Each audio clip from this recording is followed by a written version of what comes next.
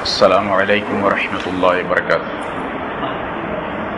الحمد للہ نحمده ونستعینه ونستغفره ونؤمن به ونتوکل علیہ ونعوذ باللہ من شرور انفسنا ومن سیئات اعمالنا من يهده اللہ فلا مضل لا ومن يضلل فلا هادی لا ونشهد ان لا الہ الا اللہ وحده لا شریک لہ ونشهد أن سيدنا ونبينا مولانا محمدا عبده ورسوله. أرسله الله بالحق بشيرا ونذيرا. أما بعد، فقد قال الله تعالى في كلامه القديم أعوذ بالله من الشيطان الرجيم. بسم الله الرحمن الرحيم. ألف لام ميم. ذلك الكتاب لا ريب فيه هدى للمتقين. الذين يؤمنون بالغيب ويقيمون الصلاة ومما رزقناهم ينفقون. صدق الله العظيم. கண்ணியத்திற்குரிய பெரியோர்களே சகோதரர்களே அல்லாஹு தாலாவுடைய கிருபையால் பதினாறாவது வாரமாக தப்சீருடைய இந்த தொடர்பயான் இப்பொழுது ஆரம்பிக்கப்படுகிறது. இதுவரை சூரத்துல் ஃபாத்திஹாவினுடைய விளக்கங்கள் சொல்லப்பட்டு வந்தன. இப்பொழுது சூரத்துல் பக்ராவுடைய முதல் இரண்டு ஆயத்துகள் வாசிக்கப்பட்டிருக்கின்றன. குரானில நூத்தி பதினான்கு சூறாக்களில் மிகப்பெரிய சூறாவாக சூரத்துல் பக்ரா அமைந்திருக்கின்றது.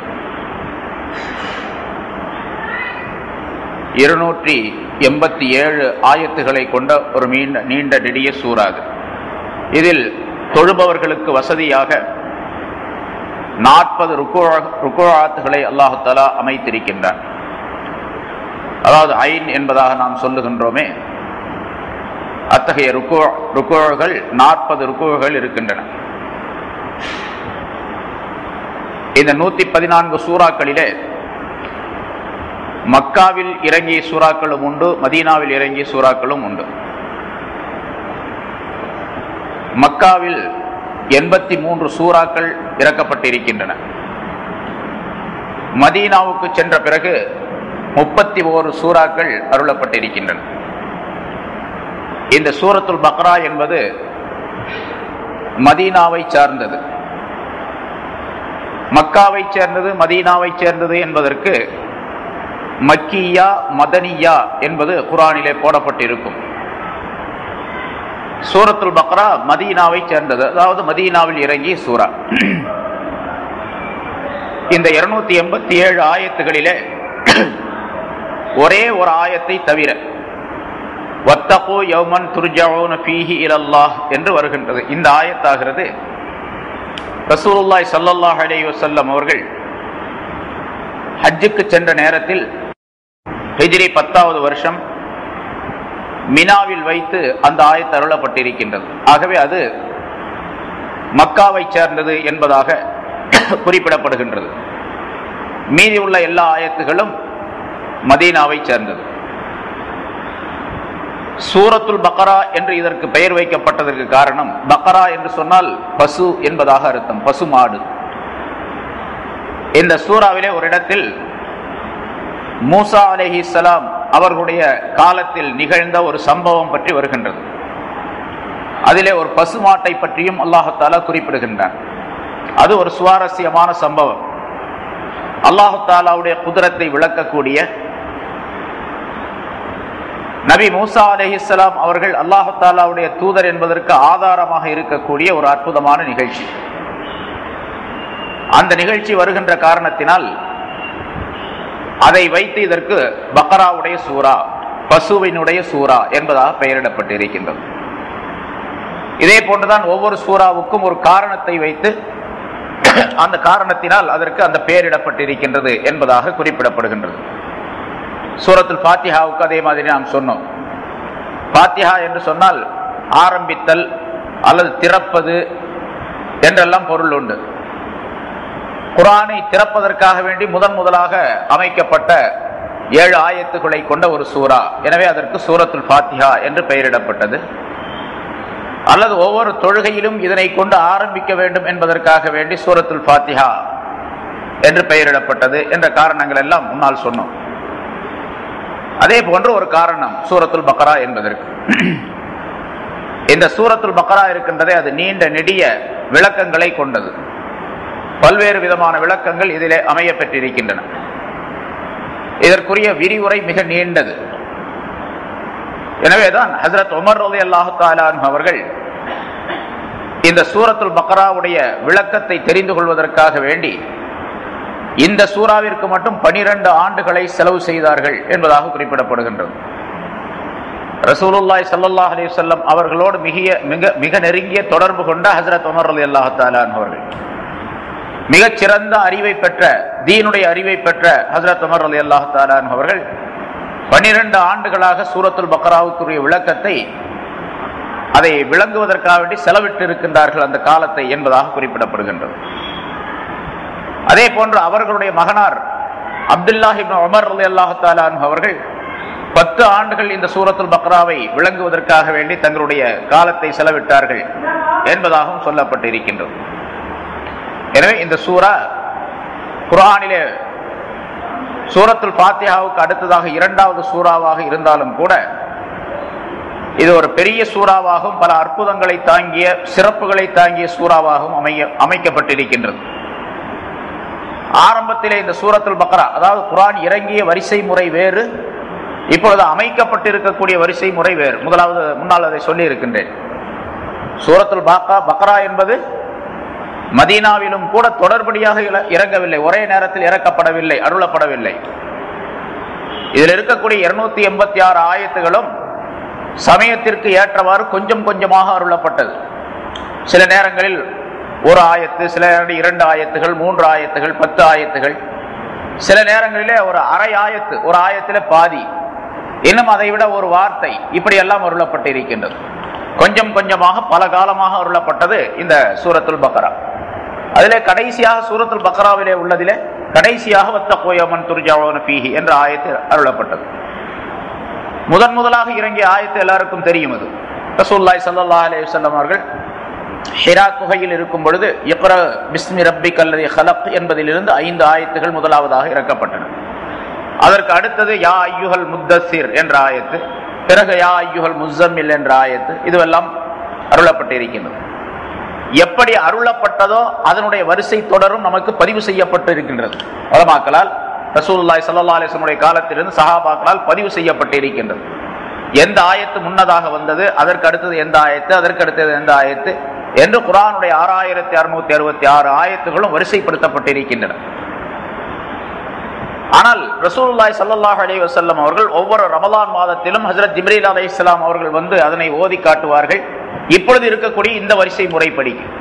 பிறகு எழுதக்கூடிய சகாபாக்களை கூப்பிட்டு இந்த ஆயத்தை இந்த இடத்தில் சேர்த்துக் கொள்ளுங்கள் இந்த ஆயத்தை இந்த இடத்தில் சேர்த்துக் கொள்ளுங்கள் என்றெல்லாம் சொல்லுவார்கள் என்று விளக்கம் தரப்பட்டு இருக்கின்றது. முன்னாலும் அதை சொல்லி இருக்கின்றேன். இங்கே சூரத்துல் பக்ராவை முதலாவதாக அல்லாஹாலா அமைத்து வைத்ததும் இந்த குரானுடைய கடைசியிலே சூரத்துல் நாஸ் என்று சொல்லப்படக்கூடிய குல்லாது பிரபின் நாஸ் என்பதை அமைத்ததற்கும் ஒரு தத்துவமான விளக்கமும் சொல்லப்பட்டிருக்கின்றது. குரானுடைய கருத்துகள் அர்த்தங்கள் அதனுடைய விளக்கங்கள் சட்டங்கள் எதையும் தெரியாமல் இருக்கக்கூடிய ஒரு மனிதன். எந்த சட்டங்களும் தெரியாது என்று ஒரு மனிதனை வைத்துக் கொள்வோம் அந்த மனிதர் குரானை எடுக்கின்றார். குரானை விளங்குகின்றார். குரானுடைய கட்டளைப்படி நடக்க ஆரம்பிக்கின்றார் என்று சொன்னால் எதுவுமே தெரியாமல் இருக்கக்கூடிய அந்த மனிதன் ஆரம்ப நேரத்திலே ஒரு மாட்டை போன்று ஒரு மிருகத்தை போன்று இருக்கின்றான். மிருகத்தை போன்று இருக்கக்கூடிய அந்த மனிதனை இந்த குரான் ஆகிறது கொஞ்சம் கொஞ்சமாக தன்னுடைய அறுநூத்தி ஆறாயிரத்தி அறுநூத்தி அறுபத்தி ஆறு ஆயத்துகளுக்குள்ளாக அவனை உண்மையான முழுமையான ஒரு மனிதனாக அவனை மாற்றி விடுகின்றது.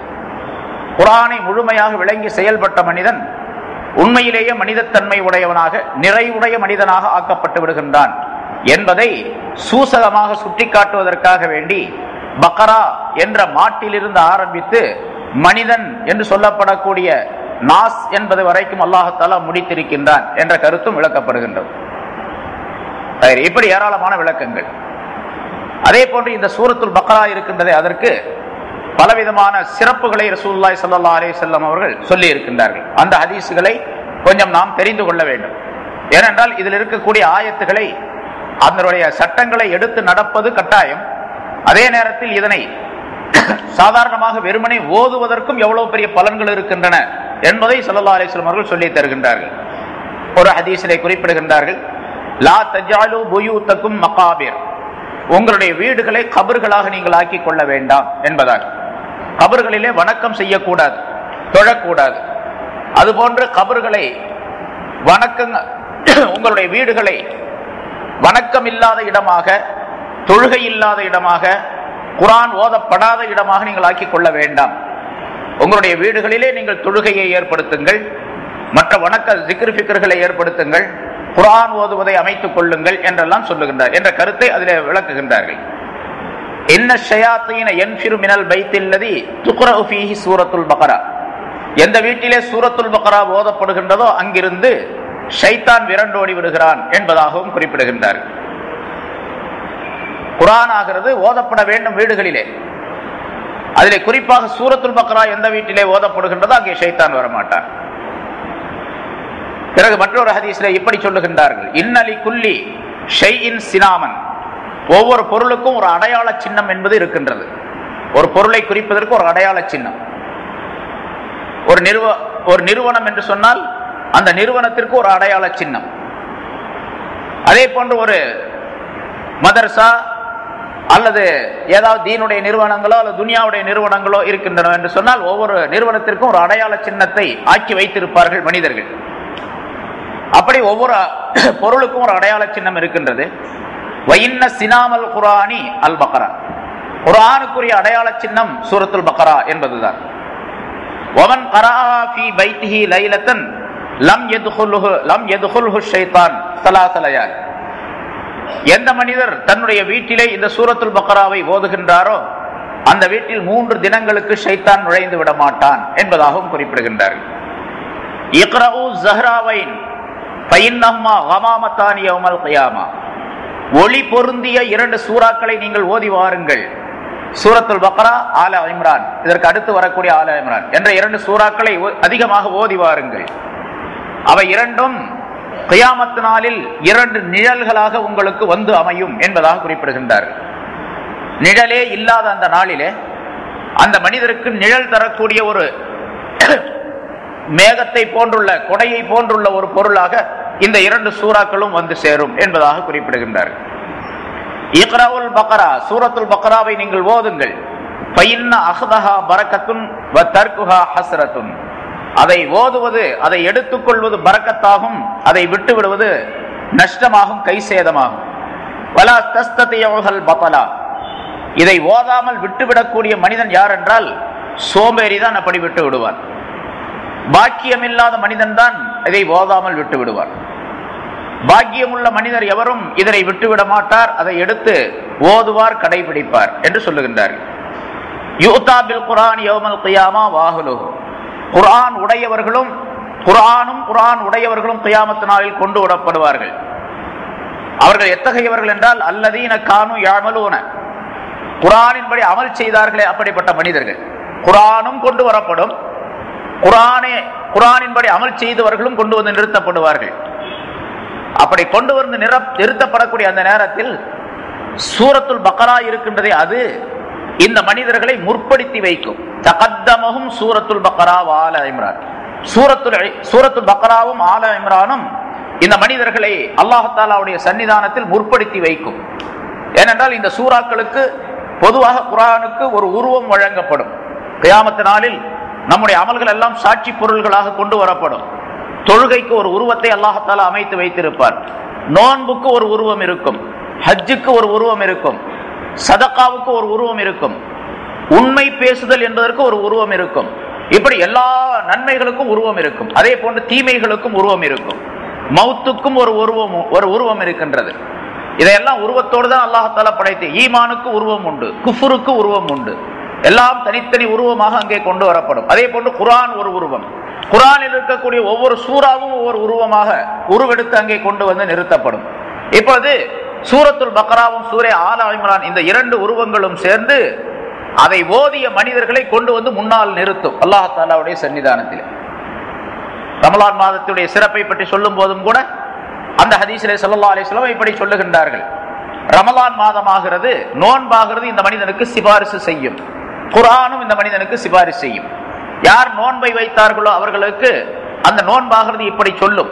யாரெல்லாம் இந்த மனிதன் நோன்பாகிய என்னை நோற்றிருந்து என்னை கடைபிடித்து பகல் நேரங்களிலே இந்த மனிதன் சாப்பிடாமலும் குடிக்காமலும் தாகித்தும் பசித்தும் இருந்தான்.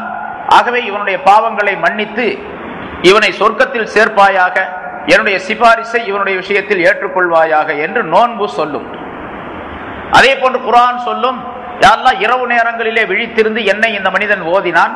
ஆகவே இவனுடைய விஷயத்திலே என்னுடைய சிபாரிசை ஏற்றுக்கொள்வாயாக என்று அது சொல்லும். இரண்டுடைய சிபாரிசும் ஏற்றுக்கொள்ளப்படும் என்று சல்லா அலிஸ்லாம் அவர்கள் சொல்லுகின்றார்கள்.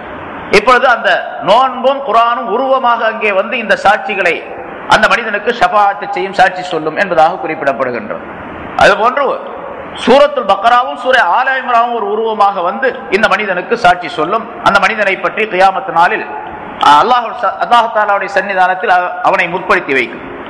பிறகும் சல்லா அலிஸ்லாம் அவர்கள் சொல்லுகின்றார்கள். ஹசரத் இபுன் மசோத் அலி அல்லாஹ் அவர்கள் சொல்லும் பொழுது ஃபீஹா அஷ்ரு ஆயாத்தின். இந்த குரா இந்த சூரத்துல் பக்ராவிலே ஒரு பத்து ஆயத்துகள் இருக்கின்றன குறிப்பாக. எல்லா ஆயத்துகளுமே சட்டங்களுக்குரியவை. பத்து ஆயத்துகளை குறிப்பிட்டு சொல்லுகின்றார்கள். மன் கரஹா பில்லைலில் லம் ஷைத்தானு ஃபீ தாரிகி எவர் ஒருவர் இரவு நேரத்தில் அந்த பத்து ஆயத்துக்களை ஓதிக்கொள்ளுகின்றாரோ தன்னுடைய வீட்டிலே அவருடைய வீட்டிலே ஷைத்தான் நுழைய மாட்டான். வலம் தலுர்ரஹு லியாஹலிஹி ஆஃபத்துன் வகம்மன் வஹம்முன் அந்த மனிதனுக்கு அவனுடைய குடும்பத்தினருக்கு எந்த விதமான ஆபத்தோ கவலையோ துக்கமோ ஏற்படாது. அந்த பத்து ஆயத்துகள் அந்த பத்து ஆயத்துகளை பைத்தியம் பிடித்த ஒரு மனிதனின் மீது ஓதி ஊதினால் அவன் தெளிவு பெற்று விடுவான் என்பதாகவும் சொல்லுகின்றார்கள். அந்த பத்து ஆயத்துகள் என்னவென்று சொன்னால் சூரை பக்ராவினுடைய ஆரம்பத்தில் உள்ள நான்கு ஆயத்துகள் அலிஃப்லாம் மீம் என்பது என்று ஆரம்பித்ததிலிருந்து நான்கு ஆயத்துகள். பிறகு ஆயத்துல் குர்சி ஒரு ஆயத்து அஞ்சு அஞ்சு ஆயத்துகள். ஆயத்தை ஆயத்துல் குர்சிக்கு பின்னால் உள்ள இரண்டு ஆயத்துகள். ஆயத்துல் குர்சியோடு சேர்ந்து இரண்டு ஆயத்துகள். பிறகு சூரை பக்ராவினுடைய கடைசியில் உள்ள மூன்று ஆயத்துகள். இந்த பத்து ஆயத்துகள். பத்து ஆயத்துகளை இந்த பத்து ஆயத்துகளை எவர் ஒருவர் ஓதுகின்றாரோ அவருக்கு முன்னால் சொல்லப்பட்ட அந்த சிறப்புகள் அனைத்தும் கிடைக்கும் என்பதாக சொல்லுகின்றார்கள். இந்த மற்றொரு ஹதீஸிலே இப்படி சொல்லுகின்றார்கள். ஆயத்தன். சூரத்துல் பக்ரா இருக்கின்றதே அது. அதிலே ஒரு ஆயத்து இருக்கின்றது. அது குரானுடைய ஆயத்துகளிலேயே மிகச் சிறந்த ஆயத் என்பதாக குறிப்பிடுகின்றார்கள். அதுதான் ஆயத்துல் குர்சி என்பது. அல்லாஹுலா இலாஹ இல்லாஹுல் ஹய்யுல் கையூம் என்று தொடங்கக்கூடிய ஆயத்துல் குர்சி சூரத்தில் பக்ராவிலேயே மிகச் சிறந்த ஆயத் என்பதாக சொல்லுகின்றார்கள் அது ஷைத்தானை விரட்டுவதற்கு சிறந்த மருந்தாக அல்லாஹால அமைத்து வைத்திருக்கின்றார். மற்றொரு ஹதீஸ்ல இப்படி சொல்லுகின்றார்கள். என்னல்லாஹ கதப கிதாபன் அபுல அஞ்சகுலுகமாவாத்தி வல்லரும் வானங்கள் பூமியை படைப்பதற்கு முன்னாலேயே அல்லாஹால ஒரு ஏட்டை எழுதினான். வானங்கள் பூமியை படைப்பதற்கு இரண்டாயிரம் ஆண்டுகளுக்கு முன்னாலேயே ஒரு ஏட்டை எழுதினான். ஒரு கித்தாபை எழுதினான். அதிலே இரண்டு ஆயத்துகளை கொண்டு அதை முடித்தான். முடிவு பெறச் செய்தான் அந்த இரண்டு ஆயத்துகள் சூரத்துல் பக்ராவிலே இருக்கின்றன. எந்த ஒரு மனிதன் அந்த இரண்டு ஆயத்துகளை தன்னுடைய வீடுகளிலே மூன்று இரவுகளுக்கு ஓதி வருகின்றாரோ அந்த வீட்டிலே ஷைத்தான் நெருங்க மாட்டான் என்பதாகவும் மற்றொரு ஹதீஸிலே குறிப்பிடுகின்றார். அந்த இரண்டு ஆயத்துகள் சூரத்துல் பக்ராவுடைய கடைசியிலே உள்ள இரண்டு ஆயத்துகள். ஆமனர் ரசூல் என்பதிலிருந்து தொடங்கி கடைசி வரைக்கும் உள்ள ஆயத்துகள் இரண்டு. அதை பற்றி உள்ள விளக்கங்கள் பின்னால சொல்லுவோம். அடுத்த அடுத்த ஹதீசுகள்ல சொல்லலா அலி அவர்கள் அதையே சொல்லி காட்டுகின்றார்கள். இன்னல்லா ஹத்தம ஹத்தம சூரத்துல் பக்ரத்தி ஆயத்தை அல்லாஹால சூரத்துல் பக்ராவை இரண்டு ஆயத்துகளை கொண்டு முடிவு செய்திருக்கின்றான்.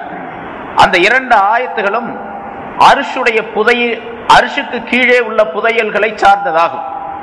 ஆகவே பத்து அல்லமூ உன்ன அந்த இரண்டு ஆயத்துகளையும் நீங்கள் கற்றுக்கொள்ளுங்கள். உங்களுடைய வீட்டு பெண்மணிகளுக்கும் அந்த இரண்டு ஆயத்துகளையும் கற்றுக் கொடுங்கள்.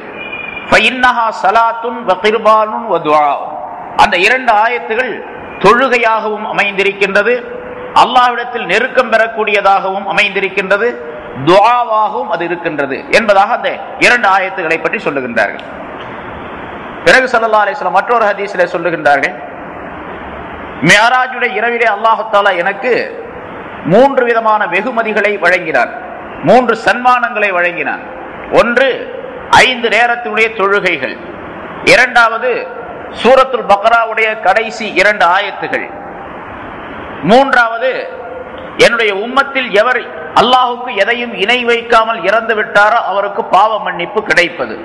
இந்த மூன்று வெகுமதிகளையும் அல்லாஹாலா எனக்கு மேராஜுடைய இரவிலே வழங்கினார் என்பதாக குறிப்பிடுகின்றார். மற்றொரு ஹதீஸில் ஒரு நாள் ஜிப்ரீல் அலேஹிஸ்லாம் அவர்கள் சல்லல்லா அலிசல்லம் அவர்களுக்கு அருகிலே உட்கார்ந்து பேசிக் கொண்டிருந்தார்கள். ஏதோ செய்தி கொண்டு வந்தார்கள். அதாவது ஆயத்துகளை கொண்டு வந்திருப்பார்கள். வகை கொண்டு வந்திருப்பார்கள். ஜிப்ரீல் அலைஹிஸ்ஸலாம் அவர்கள் ரசூலுல்லா சல்லல்லா அலிசல்லம் அவர்களோடு இருந்து கொண்டிருக்கின்றார்கள். திடீரென்று மேலே வானத்தில் இருந்து ஒரு சப்தம் கேட்டது. தலையை உயர்த்தி ரசூல்லாய் சல்லா அலிஸ்லாம் பார்த்தார்கள்.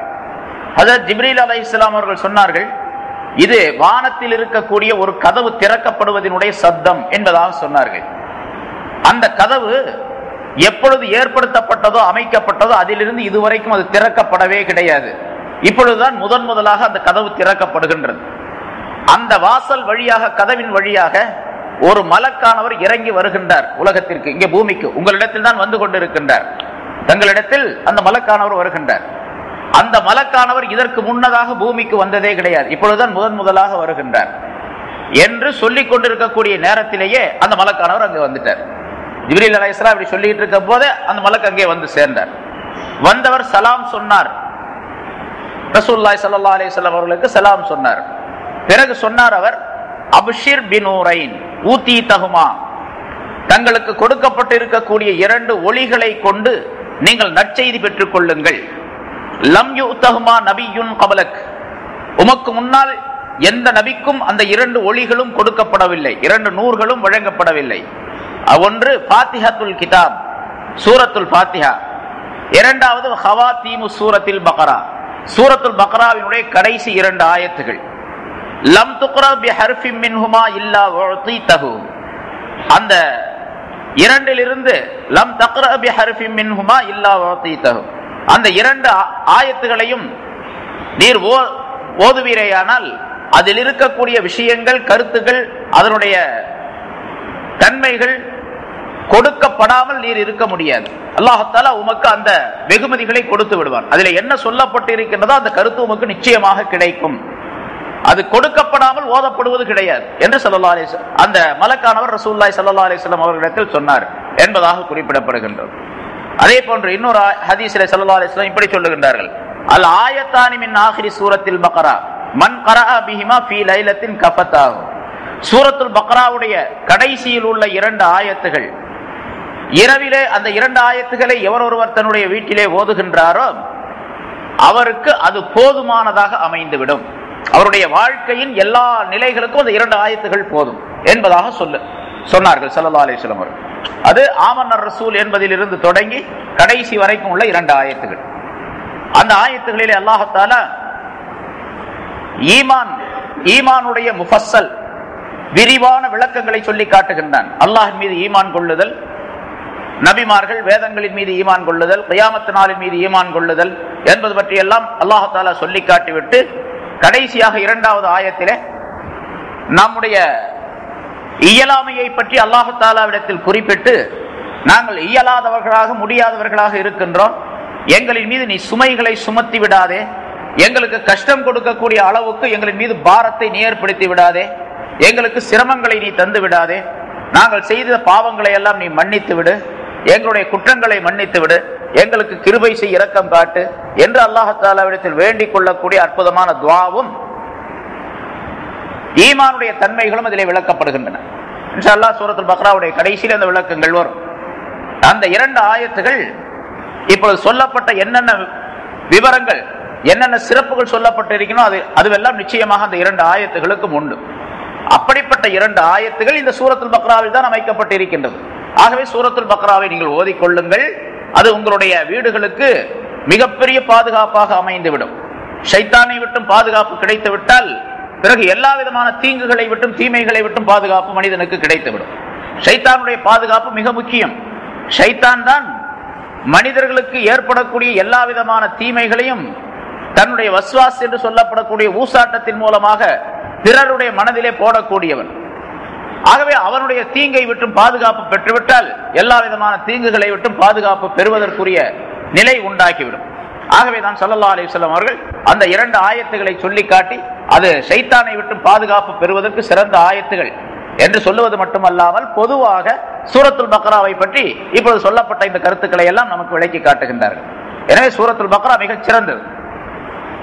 இந்த சூறாவிலேயே அதாவது இந்த குரானிலேயே மிக நீளமான சூரா என்பதாக சொல்லப்பட்டிருக்கின்றது. அதாவது இருநூத்தி எண்பத்தி ஆறு ஆயத்துகளை கொண்டது. சூரத்துல் பக்ராவிலே அமைந்து ஒரு விசேஷமான தன்மையை ஏற்படுத்துகின்றது என்பதாக குறிப்பிடுகின்றார் இப்னுல் அரபி ரஹமத்துல்லாஹி அலேஹி முஹையுத்தீன் இப்னுல் அரபி ரஹமத்துல்லா அலி அவர்கள் சொல்லுகின்றார்கள் இந்த சூரத்துல் பக்ராவிலே அல்லாஹாலா ஆயிரம் சட்டங்களை கட்டளைகளை ஏற்படுத்தி இருக்கின்றான் சொல்லி இருக்கின்றான்.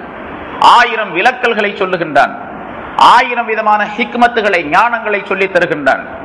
ஆயிரம் விதமான செய்திகளையும் சம்பவங்களையும் சொல்லுகின்றான். என்பதாக நாலாயிரம் செய்திகளை நாலாயிரம் விஷயங்களை அவர்கள் குறிப்பிடுகின்றார்கள். நான்காயிரம் விஷயங்கள் உள்ளடக்கப்பட்ட ஒரு அற்புதமான சூரா என்பதாக இப்னுல் அரபி ரஹமத்துல்லாஹி அலைஹி அவர்கள் சொல்லி காட்டுகின்றார்கள் எனவேதான் இந்த சூரத்துல் பக்ராவுக்கு மட்டும் விளக்கம் எழுதுவதற்கு பொதுவாக தப்சீர்களிலே அது அரபி தப்சீராக இருந்தாலும் சரி வேறு மொழிகளில் ஏற்படுத்தப்படக்கூடிய எழுதப்படக்கூடிய தப்சீராக இருந்தாலும் சரி சூரத்துல் பக்ராவுக்கு மட்டும் மிக நீண்ட நெடிய விளக்கங்களை எழுதியிருப்பார்கள்.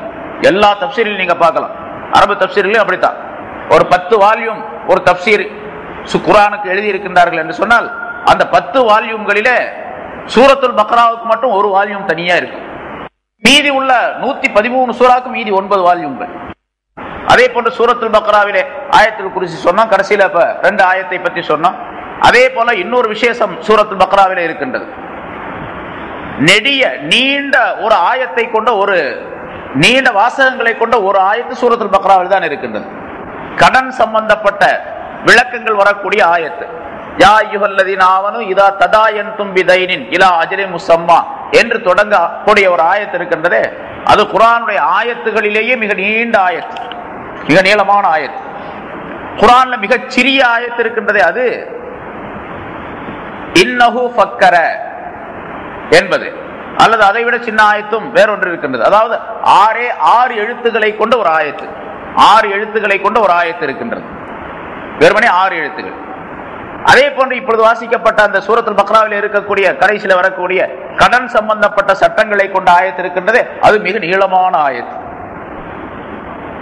அதுவும் இந்த சூரத்தில் பக்ராவிலே அமைந்து ஒரு விசேஷமான தன்மையை ஏற்படுத்துகின்றது என்பதாக குறிப்பிடுகின்றார். இப்னுல் அரபி ரஹமத்துல்லாஹி அலேஹி முஹையுத்தீன் இப்னுல் அரபி ரஹமத்துல்லா அலைஹி அவர்கள் சொல்லுகின்றார்கள் இந்த சூரத்து பக்ராவிலே அல்லாஹாலா ஆயிரம் சட்டங்களை கட்டளைகளை ஏற்படுத்தி இருக்கின்றான் சொல்லி இருக்கின்றான். ஆயிரம் விலக்கல்களை சொல்லுகின்றான். ஆயிரம் விதமான ஹிக்மத்துகளை ஞானங்களை சொல்லி தருகின்றான். ஆயிரம் விதமான செய்திகளையும் சம்பவங்களையும் சொல்லுகின்றான். என்பதாக நாலாயிரம் செய்திகளை நாலாயிரம் விஷயங்களை அவர்கள் குறிப்பிடுகின்றார்கள். நான்காயிரம் விஷயங்கள் உள்ளடக்கப்பட்ட ஒரு அற்புதமான சூரா என்பதாக இப்னுல் அரபி ரஹமத்துல்லாஹி அலைஹி அவர்கள் சொல்லி காட்டுகின்றார்கள். எனவேதான் இந்த சூரத்துல் பக்ராவுக்கு மட்டும் விளக்கம் எழுதுவதற்கு பொதுவாக தப்சீர்களிலே அது அரபி தப்சீராக இருந்தாலும் சரி வேறு மொழிகளில் ஏற்படுத்தப்படக்கூடிய எழுதப்படக்கூடிய தப்சீராக இருந்தாலும் சரி சூரத்துல் பக்ராவுக்கு மட்டும் மிக நீண்ட நெடிய விளக்கங்களை எழுதியிருப்பார்கள். எல்லா தப்சீரிலும் நீங்க பார்க்கலாம். அரபு தப்சீர்களையும் அப்படித்தான். ஒரு பத்து வால்யூம் ஒரு தப்சீர் குரானுக்கு எழுதியிருக்கின்றார்கள் என்று சொன்னால் அந்த பத்து வால்யூம்களிலே சூரத்துல் பக்ராவுக்கு மட்டும் ஒரு வால்யூம் தனியா இருக்கு. மீதி உள்ள நூத்தி பதிமூணு சூறாக்கு மீதி ஒன்பது வால்யூம்கள். இன்னும் சில தப்சீர்கள் என்னிடத்திலும் கூட இருக்கு. சில தப்சீர்கள் நீங்க வந்து பார்க்கலாம். ஒரு பத்து பாகங்களை கொண்ட ஒரு தப்சீர். பத்து பாகங்களை கொண்ட ஒரு தப்சீர்ல கிட்டத்தட்ட மூணு பாகம் சூரத்தில் பக்ராவுக்கே இருக்குது. மீதி உள்ள ஏழு பாகம் தான் மீதி உள்ள நூத்தி பதிமூணு சூறாவுக்கு. ஏன்னா சூரத்துல் பக்ராவுக்கு விரிவுரை செய்தால் அது ஏராளமான விளக்கங்களை கொண்டதாக அமையும்.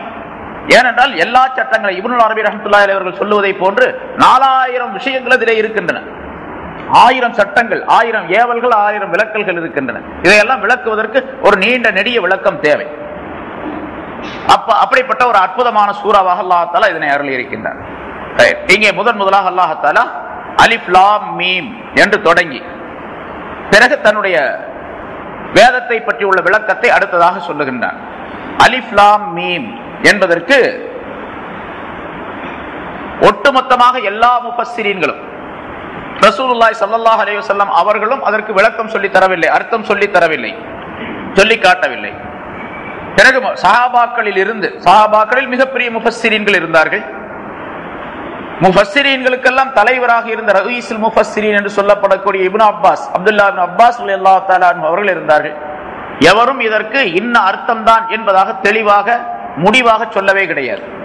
ஆகவே அலிஃப்லாம் மீம் என்று ஆரம்பித்தால் இதற்கு அல்லாஹு ஆயிலம் பி முராதிஹி என்று தப்சீரில் அர்த்தம் எழுதி விடுவார்கள் அதற்கு விளக்கம் எழுதி விடுவார்கள் அல்லாஹுதான் இதனுடைய கருத்தை விளங்கியவன் என்று அதுக்கு அர்த்தம். அல்லாஹுக்கு தான் தெரியும் இந்த கருத்து.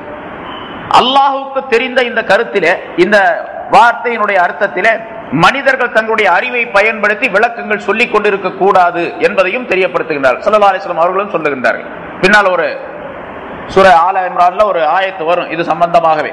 அது அந்த நேரத்தில் அந்த விளக்கங்களை நாம காணும் இப்போ அலிப்லாம் மீம் என்பது ஹுரூஃபுல் முகத்தாத் என்பதாக சொல்லப்படும்.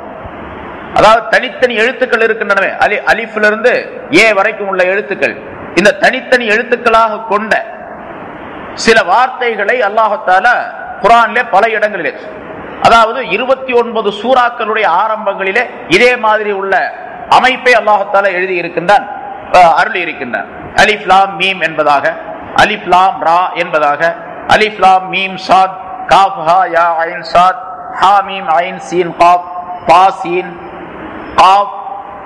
இதா அதாவது ஒரு எழுத்து இரண்டு எழுத்துக்கள் மூன்று எழுத்துக்கள் நான்கு எழுத்துக்கள் ஐந்து எழுத்துக்கள். ஒன்று ஒரு எழுத்து இருக்குது. சாத் என்று ஒரு சூறாவினுடைய ஆரம்பத்தில் வரும். ஆஃப் என்று ஒரு சூறாவினுடைய ஆரம்பத்தில் வரும். நூன் என்று ஒரு சூறாவினுடைய ஆரம்பத்தில் வரும். இது ஒவ்வொரு எழுத்தை கொண்டது. அதே போன்று ஹாமீம் பாசீன் என்ற இரண்டு எழுத்துக்களை கொண்ட வார்த்தைகள் வருகின்றது. அலிஃப்லாம் மீம் அலிஃப்லாம் ரா என்று சொல்லப்படக்கூடிய மூன்று எழுத்துக்களை கொண்ட ஒரு வார்த்தை. அலிஃப்லாம் மீம் சாத் என்ற நான்கு எழுத்துக்களை கொண்ட வார்த்தை. காஃபஹா யா ஐன் சாத் ஹாமீம் ஐன் சீன் காஃப் இதெல்லாம் அஞ்சு எழுத்துக்களை கொண்டவர். இது இதனுடைய சூசகம் அல்லாஹ் ஒருவனுக்குத்தான் தெரியும். ஆனா அல்லாஹாலா இந்த அரபியினுடைய அமைப்பு இருக்கின்றதே அது? ஒரு எழுத்து என்பதிலிருந்து ஐந்து எழுத்து வரைக்கும் அதனுடைய வினை சொற்களுடைய அமைப்பு அமைக்கப்பட்டு இருக்கின்றது ஒரு எழுத்து வினை சொல்லும் உண்டு. இரண்டு எழுத்து வினை சொல்லும் உண்டு. மூன்று எழுத்து நான்கு எழுத்துக்கள் ஐந்து எழுத்துக்கள் வரைக்கும் உண்டு. இந்த ஐந்து எழுத்துக்கள் வரைக்கும் இந்த அரபியிலே அதனுடைய வினைச்சொற்களுடைய ஆரம்பம் வரும் என்பதை சுட்டிக்காட்டும் முகமாக அல்லாஹால இப்படி சொல்லி இருக்கின்றான் என்பதாக மற்றொரு கருத்து தெரிவிக்கப்படுகின்றது. ஒன்றிலிருந்து ஒரு எழுத்திலிருந்து ஐந்து எழுத்துக்கள் வரைக்கும் சரி. அது ஒவ்வொரு அந்த சூறாவினுடைய ஆரம்பம் வரும்பொழுது அதற்குரிய விளக்கங்கள் சொல்லுவோம்.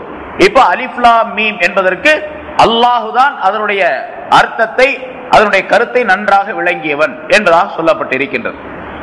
இதற்கு யாரும் அர்த்தத்தை இதுதான் அதற்குரிய அர்த்தம் என்பதாக முடிவாக சொல்லக்கூடாது. யாராவது அப்படி சொல்லுவாரே ஆனால் அவர் தன்னுடைய அறிவிலே தவறு செய்கின்றார். குரானுக்கு தன்னுடைய அறிவின்படி அர்த்தம் செய்கின்றார் என்று பொருள் ஏற்பட்டுவிடும். எவர் ஒருவர் குரானுக்கு தன்னுடைய அறிவின்படி அர்த்தம் செய்கின்றாரோ அவர் தங்கும் இடத்தை நரகமாக ஆக்கிக் கொள்ளட்டும் என்று ரசூல்லாய் சல்லா அலிஸ்லாம் அவர்கள் சொல்லுகின்றார்கள்.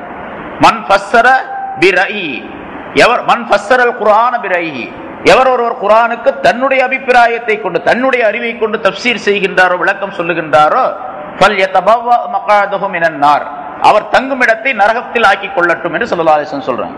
இப்ப அலிப்லாம் மீம் என்பதற்கு யாராவது ஒரு அர்த்தம் சொல்லலாம். சில பேர் சொல்லி இருக்கிறாங்க ஆனா அது சொல்றது இப்படியும் இருக்கலாம் அப்படின்னு சொல்லலாமே தவிர இதுதான் அர்த்தம் அப்படின்னு முடிவாக சொல்ல முடியாது.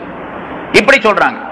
அலிப்லாம் மீம் என்பதற்கு அல்லாஹு ஆயலமு அல்லாஹு ஆயலமு என்பதைத்தான் அலிப்லாம் மீம் என்பதாக சொல்லப்பட்டிருக்கின்றது என்ற ஒரு விளக்கம் ஒருவர் சொல்லுகின்றார். சில முஃபசிரங்களை இப்படி குறிப்பிடுகின்றார் அல்லாஹு ஆயலமு அப்படிங்கிறது தான் அந்த அல்லாஹுல உள்ள அலிஃபு ஆயலமு என்பதில் உள்ள லாமு மீமு இதெல்லாம் சொல்லப்பட்டிருக்கு அப்படின்னு.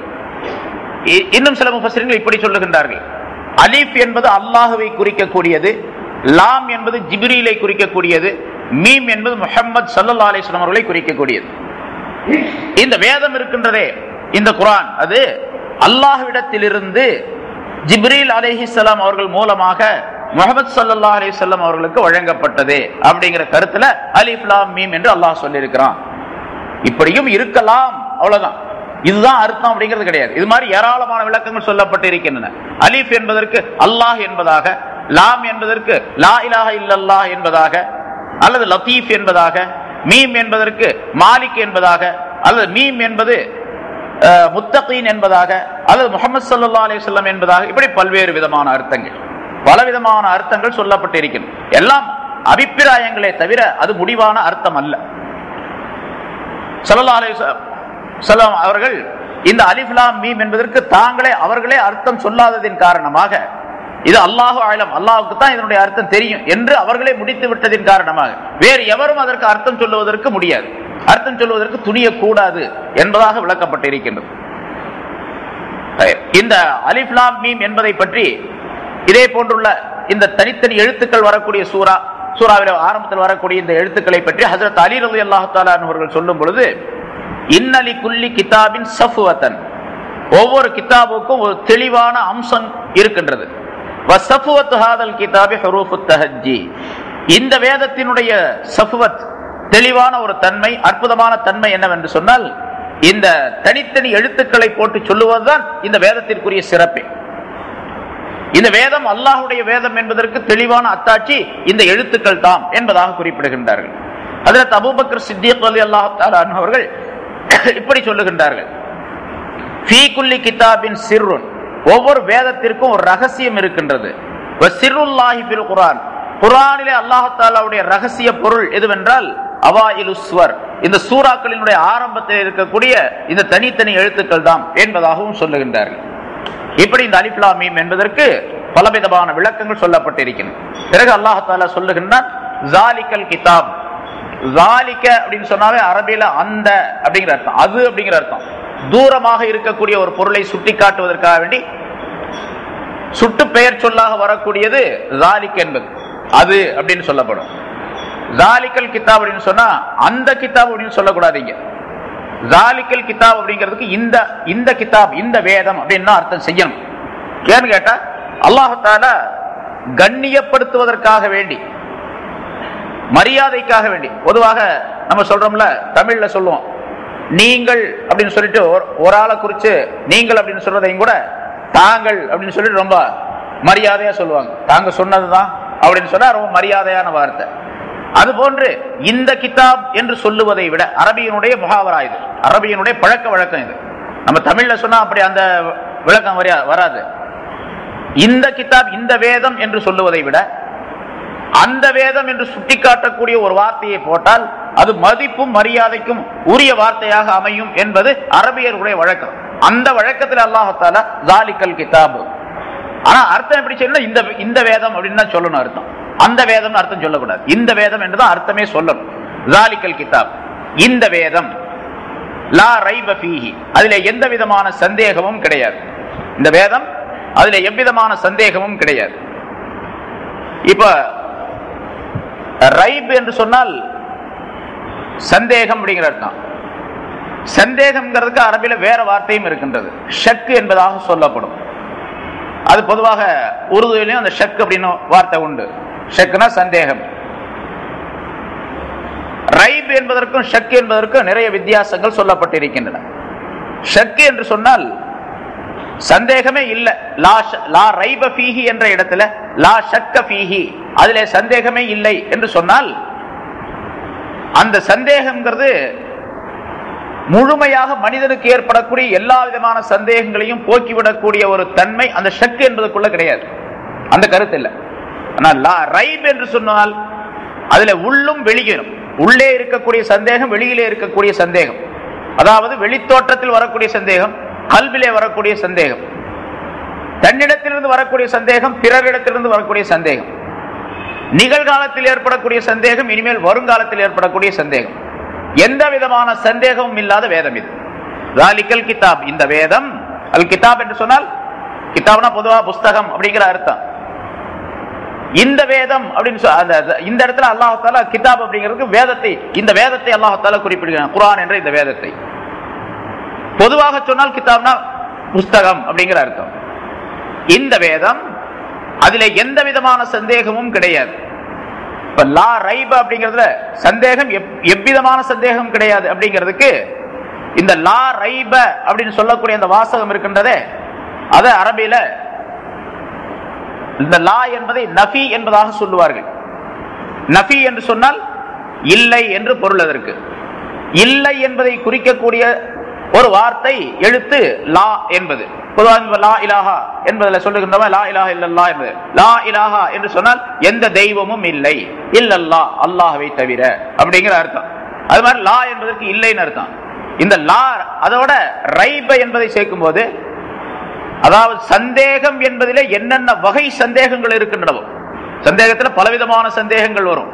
பல்வேறு வகையான சந்தேகங்கள் இருக்கின்றன. எந்த சந்தேகமும் இதுல கிடையாது. எந்த விதமான சந்தேகமும் கிடையாது.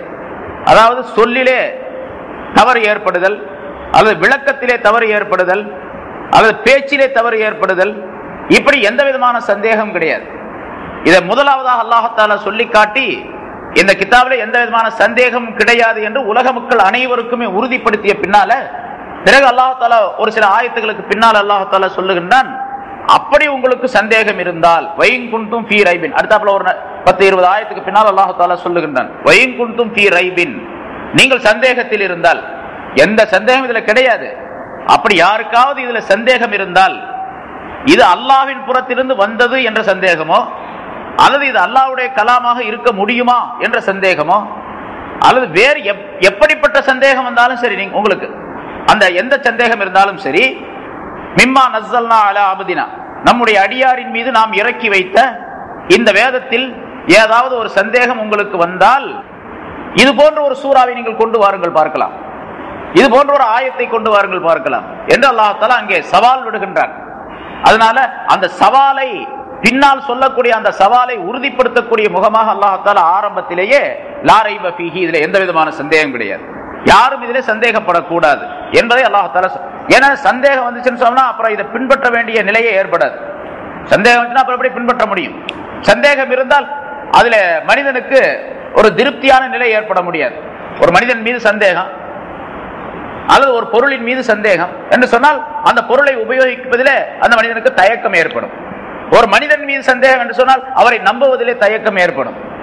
தன்னுடைய மனைவி மீது சந்தேகம் என்று சொன்னால் அவளோடு பேசுவதிலே சந்தேகம் தயக்கம் ஏற்படும். தன்னுடைய மக்களின் மீது சந்தேகம் என்று சொன்னால் மக்களை பாசத்தோடு பார்ப்பதிலே அவர்களுக்கு கொடுப்பதிலே சந்தேக அதாவது தயக்கம் ஏற்படும். இப்படி பல்வேறு விதமான அந்த சந்தேகங்களின் மூலமாக பல்வேறு விதமான தீமைகள் ஏற்பட்டுவிடும் தயக்கங்கள் ஏற்பட்டுவிடும். அதை பின்பற்றுவது அதை செயல்படுத்துவது என்பது முடியாத காரியமாக ஆகிவிடும். ஆகவேதான் முதலாவதாகவே அல்லாஹத்தாலா அப்படிப்பட்ட தயக்கம் மனிதரிடத்தில் வந்துவிடக் கூடாது என்பதற்காக வேண்டி லாரை பஃபீஹி இதுல எந்த விதமான சந்தேகமும் இல்லை என்பதாக குறிப்பிடுகின்றார். சரி ஹுதல்லில் முத்தகீன். அடுத்து சொல்லுகின்றான் இது முத்தகீன்களுக்கு நேர்வழி காட்டக்கூடியது என்பதாக. இறுதி சிராத்துல் என்பதில் இந்த ஹிதாயத் என்பதற்கு விளக்கம் சொல்லப்பட்டு இருக்கின்றது நேர்வழி என்பதற்கு விளக்கம் சொல்லப்பட்டு இருக்கின்றது இங்க ஹுதல்லில் முத்தகீன். இப்ப எல்லாருக்குமே பொதுவாக சாதாரணமாக சிந்திக்கும் பொழுது மனிதனுடைய அறிவு இப்படித்தான் சொல்லும். இது முத்தகீன்களுக்கு அல்லாஹுவை பயந்தவர்களுக்கு பயபக்தியாளர்களுக்கு நேர்வழி காட்டக்கூடியது. பயபக்தியாளர்கள் தான் நேர்வழியில இருக்கிறாங்களே அவங்களுக்கு போய் என்ன நேர்வழி காட்டுறது அப்புறம்? நேர்வழி காட்டுவது என்பது நேர்வழி இல்லாதவர்களுக்கு நேர்வழி காட்டக்கூடியது அப்படின்னு சொன்னா பரவாயில்ல.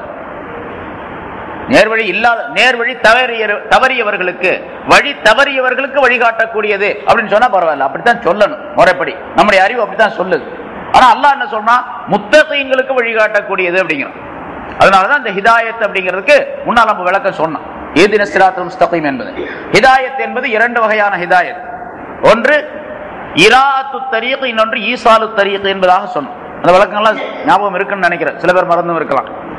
அதாவது நேர் வழியை காட்டுவது என்பது ஒன்று நேர் வழியில் கொண்டு போய் சேர்ப்பது என்பது மற்றொன்று. இந்த நேர் வழியை காட்டுவது இருக்கின்றதே அது குரான். குரான் காட்ட முடியும் ரசூல் காட்ட முடியும். நேரான வழியை காட்ட முடியும். அதுக்கு உதாரணம் சொன்னோம் ஒரு மனிதர் இங்கிருந்து ஒரு இடத்திற்கு வழி கேட்கின்றார். இந்த இடத்துக்கு போறதுக்கு என்ன? எப்படி போகணும் அப்படின்னு சொல்லிட்டு. இங்கிருந்தே ஒரு மனிதன் அதனை காட்டி தருவது. இப்படி நேராக போய் வலப்பக்கம் திரும்பி இடப்பக்கம் திரும்பினா அந்த இடம் வந்துடும் அப்படின்னு சொல்றார். இது வழியை காட்டுறது. அதே மனிதருக்கு அந்த வழி கேட்கக்கூடிய மனிதருக்கு ஒருவர் என்ன செய்கின்றார்? நானும் அங்கதான் போறேன் நீங்க வாங்க அப்படின்னு சொல்லிட்டு அவரை கூடவே தன்னுடன் அழைத்து சென்று அந்த இடத்துல கொண்டு போய் சேர்த்து விடுகின்றார். இது இரண்டாவது அதாவது ஈசாலு தரீக் அந்த இடத்துல கொண்டு போய் சேர்த்து விடுவது. நேரான வழியிலே அவர் எந்த வழி கேட்டாரோ அந்த வழியில கொண்டு போய் சேர்த்து விடுவது. இப்ப ஹுதல்லில் முத்தகீன் என்று சொன்னால் இந்த வேதம் இருக்கின்றதே அது முத்தகீன்களுக்கு யார் அல்லாஹுவை பயந்து பக்தியாளர்களாக இருக்கின்றார்களோ அவர்களுக்கு அவர்களை நேர் வழியில் கொண்டு போய் சேர்க்கக்கூடியது என்று பொருள் செய்ய வேண்டும் அர்த்தம் செய்ய வேண்டும். பிறகு இந்த குரான் இருக்கின்றது அது வழி காட்டக்கூடியதாகவும் இருக்கின்றது. அது எல்லாருக்கும் வழி காட்டுகின்றது. வழி தவறியவர்கள் அனைவருக்குமே இந்த குரான் வழிகாட்டி கொண்டிருக்கின்றது. இந்த வழியில் போனால் நீங்கள் நேரான வழியை அடைந்து விடலாம் உங்களுடைய இலக்கை நோக்கத்தை அடைந்து விடலாம் என்று காட்டிக்கொண்டும் இருக்கின்றது. ஆனால் முத்தகீன்களை அந்த இலக்கிலே கொண்டு போய் சேர்த்து விடுகின்றது ஹிதாயத் என்ற அந்த தன்மையிலே கொண்டு போய் அவர்களை சேர்த்து விடுகின்றது என்ற கருத்து இங்கே விளக்கப்பட்டிருக்கின்றது. ஹுதல்லில் முத்தகீன். முத்தகீன்களுக்கு இது வழி காட்டக்கூடியதாகவும் அதே நேரத்தில் வழியில் சேர்க்கக்கூடியதாகவும் நல்வழியில் நேர்வழியில் சேர்க்கக்கூடியதாகவும் அது இருந்து கொண்டிருக்கின்றது. பிறகு அல்லாஹால இந்த முத்தகீன்கள் என்றால் யார் அப்படிங்கிறதுக்கு விளக்கம் சொல்லுகின்றார். அல்லதீன அந்த முத்தகீன்கள் எப்படிப்பட்டவர்கள் என்று சொன்னால் யுமினூன பில் கைப். மறைவான விஷயங்களை அவர்கள் நம்பிக்கை கொள்ளுவார்கள் ஈமான் கொள்ளுவார்கள். யுமினூன பில் கைப். வயுகீமூன தொழுகையை அவர்கள் நிலைநிறுத்துவார்கள். வமிம்மா ரஸக்னாஹும் யுன்ஃபிகூன். அவர்களுக்கு நாம் கொடுத்ததிலிருந்து செலவு செய்வார்கள் என்று மூன்று விதமான தன்மைகளை அல்லாஹால குறிப்பிடுகின்றார் முத்தகீன்கள் என்பதற்கு இந்த இடத்துல அல்லாஹால மூன்று தன்மைகளை குறிப்பிடுகின்றார் வேறு பின்னால் வரக்கூடிய பல ஆயத்துகளிலே பல தன்மைகளை அல்லாஹால சொல்லி காட்டுகின்றார் இது ஆரம்ப நிலை. ஒரு மனிதனுக்கு ஒரு மனிதன் தக்குவா உடையவராக பயபக்தி உடையவராக இருக்க வேண்டும் என்று சொன்னால் அவர் கண்டிப்பாக முதலாவதாக இந்த மூன்று தன்மைகள் உடையவராக அவர் இருக்க வேண்டும். அதற்கு பின்னால்தான் வேறு தன்மைகள் வேறு சிபாத்துகள் வேறு நிலைகள் அனைத்தும் அந்த மனிதனுக்கு உண்டாக முடியும். பின்னால் அல்லாஹால வேறு பல இடங்களில் சிலைசல் பிர்ரான் துவல்லு உஜூஹக்கும் என்ற ஆயத்தில் அல்லாஹால பத்து விதமான சிபத்துகளை சொல்லி காட்டுகின்றான். இதெல்லாம் வர வேண்டும் என்று சொன்னால் இந்த மூணு அம்சங்கள் மிக முக்கியம் என்பதை அல்லாஹ் இங்கே குறிப்பிடுகின்றார் இதுல முதலாவதாக அல்லதீன யுமினூன பில் ஹைப் மறைவான விஷயங்களை மறைவான விஷயத்தை ஈமான் கொள்ளக்கூடியவர்கள் நம்பக்கூடியவர்கள் அவர்கள். அந்த முத்தகீன் என்பவர்கள். இப்ப மறைவான விஷயம் என்பது என்ன? பொதுவாகவே ஒரு மனிதன் மூமினாக இருப்பது என்பதே முஸ்லிமாக இருப்பது என்பது மறைவான விஷயங்களை முழுமையாக நம்பிக்கை கொள்வதன் மூலமாகத்தான் முடியுமே தவிர அதை நம்பலன்னு சொன்னா இவர் முஸ்லிமாக இருக்க முடியாது. அதுதான் மற்ற கவுமுகளுக்கும் மற்ற மதத்திலே உள்ளவர்களுக்கும் முஸ்லிம்களுக்கும் வித்தியாசம் மிகப்பெரிய வித்தியாசம். நம்பிக்கை கொள்வது இருக்கின்றதே அதுல மறைவான விஷயங்கள் எது எது ரசூல்லாய் சல்லா அலிஸ்லாம் அவர்களால் சொல்லப்பட்டிருக்கின்றனவோ இந்த குரானின் மூலமாக சொல்லப்பட்டிருக்கின்றதோ அவையெல்லாம் நம்பிக்கை கொள்வது. அந்த நம்பிக்கையின் அடிப்படையில் தான் இவருக்கு பேர் மூமின் நம்பிக்கையாளர் என்று பெயர் ஏற்பட்டு இருக்கின்றது அதுல ஏதாவது சந்தேகம் வந்துச்சு? இவர் மூமின் என்பதிலே சந்தேகம். எந்த அளவுக்கு அதுல சந்தேகம் வருதோ அந்த அளவுக்கு இவருடைய ஈமானிலே சந்தேகம். எந்த அளவுக்கு உறுதி வருகின்றதோ அந்த அளவுக்கு இவருக்கு ஈமான்ல உறுதி இருக்கின்றது என்று பெயர் என்று பொருளாகும். சரி மறைவான விஷயங்கள் அப்படி ரைபு அப்படின்னு சொன்னா என்ன? ரைபுன்னு சொன்னா நம்முடைய அறிவை விட்டு நம்முடைய கண்களை விட்டு மறைந்த விஷயங்கள். இப்ப உலகத்துல இப்ப ரசூல்லாய் சல்லா அலிஸ்லாம் அவர்கள் வந்த காலத்துல சஹாபாக்களுடைய காலத்துல சல்லா அலிஸ்லாம் அவர்கள் இருக்கும் பொழுது இந்த யூமினோ பில் கைப் அப்படின்னு சொன்னா அல்லாஹுவை யாரும் பார்க்க கிடையாது. மலக்குகளை யாரும் பார்க்க கிடையாது. ரசூலை அவர்கள் நேரடியாக பார்த்தார்கள். யார? அஹ், யார்? சஹாபாக்கள் பார்த்தார்கள். ரசூல்லாய் சல்லா அலிஸ்லாம் அவர்கள் இந்த உலகத்தை விட்டு சென்ற பின்னால் மறைந்த பின்னால் அவர்களை யாரும் பார்க்க கிடையாது. இப்படி ஒரு மனிதர் ஒரு ரசூல் இருந்தார் ஒரு நபி இருந்தார். அப்படின்னு வாழையடி வாழையாக செய்திகள் சொல்லப்பட்டு இப்பொழுது வரைக்கும் நாம் நம்பிக்கொண்டிருக்கின்றோம். இது ஒரு மறைவான விஷயம். ரசூல்லாய் சல்லல்லா அலைஹி அவர்களை நம்புவது என்பது சஹாபாக்களுக்கு கைபை நம்புவது அப்படிங்கிறது அல்ல. நமக்கு கைபை நம்புவது. மறைவான விஷயத்தை நம்புவது. ரசூல்லாய் சல்லா அலிஸ்லாம் அவர்கள் இருந்தார்கள் இப்படியெல்லாம் இருந்தார்கள் இப்படியெல்லாம் வாழ்ந்தார்கள் இப்படி அவர்களுக்கு வகை அறிவிப்பு தெய்வீக அறிவிப்பு வந்தது. அவர்கள் என்னென்ன செய்திகளை சொன்னார்கள் என்னென்ன ஹதீசுகளை சொன்னார்கள் என்னென்ன சட்டங்களை சொன்னார்கள் என்னென்ன வாழ்க்கை வழிமுறைகளை எல்லாம் தந்திருக்கின்றார்கள் என்று சஹாபாக்கள் இருந்து நமக்கு வாழையடி வாழையாக ஆயிரத்தி நானூறு ஆண்டுகளாக வந்து இப்பொழுதும் அதை நாம் நம்பிக்கொண்டிருக்கணும் நமக்கு ஒரு வகையில ரசூலுல்லாவை நம்புவதும் கூட யூமினூன பில் கைப் ஈமானும் பில் கைப் என்பதில் சேர்ந்தது மறைவான விஷயத்தை நம்புவது. ஏனென்றால் ரசூல்லாய் சல்லா அலிஸ்லாம் அவர்கள் நம் அவர்களை நாம் பார்க்கவில்லை இதுவரைக்கும். இனிமேல் நம்ம மௌத்துக்கு பின்னால் பார்க்க போறோம். அது வேற விஷயம். இப்போது வரைக்கும் நம்ம பார்க்கல.